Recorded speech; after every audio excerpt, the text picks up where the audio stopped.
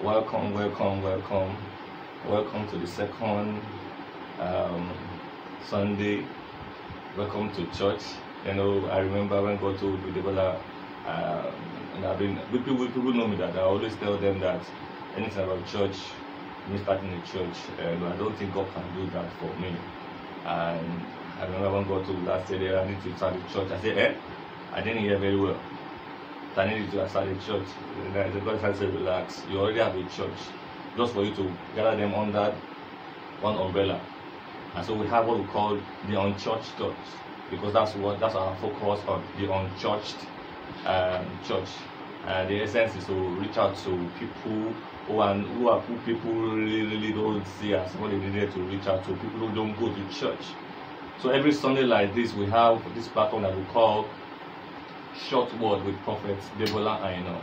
And the essence just to share the word of God, drop the word of God in your spirit, and then charge them. Yes, I know uh, some have gone to church uh, before now, some have um, listened to uh, their pastors, but I always I always tell people I listen to a lot of people, a lot of pastors apart from my, my father, and uh, the Holy Spirit has a way of dropping one or two words uh, in our hearts, and that's where short words come in. With five ten minutes, we are done.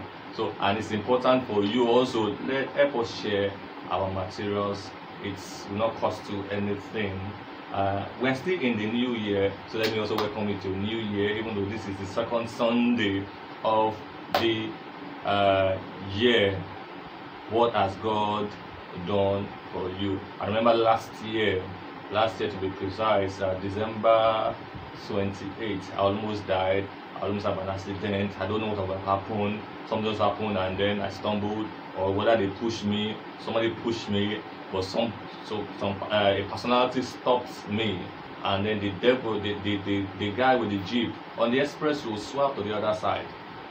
Now, I, I can tell you that I did not, I, I, I looked very, very, very well. But something hit my leg or something pushed me that I had to, I was like going to the, I was on this the second, the second lane on the express road. And something stopped me. Hallelujah.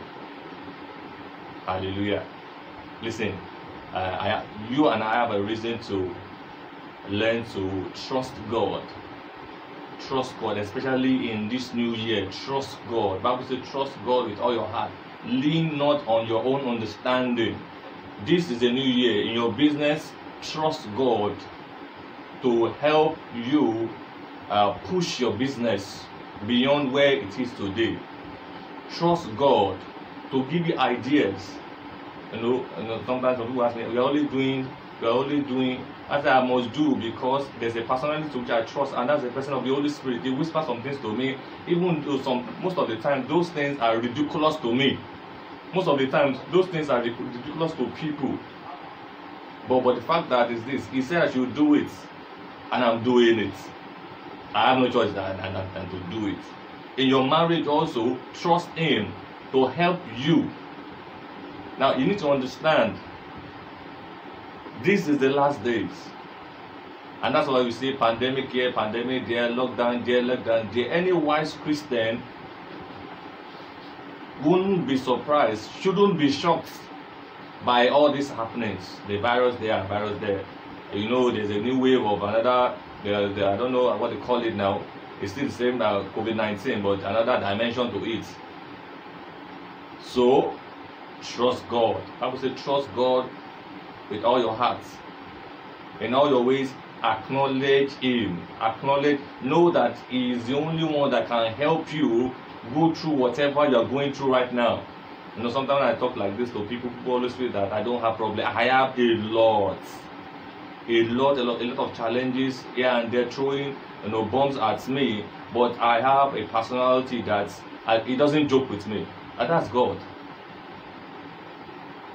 And that's God. So, as you go through this week in this second Sunday, learn to trust God. Not men. Bible says the arm of flesh will fail you.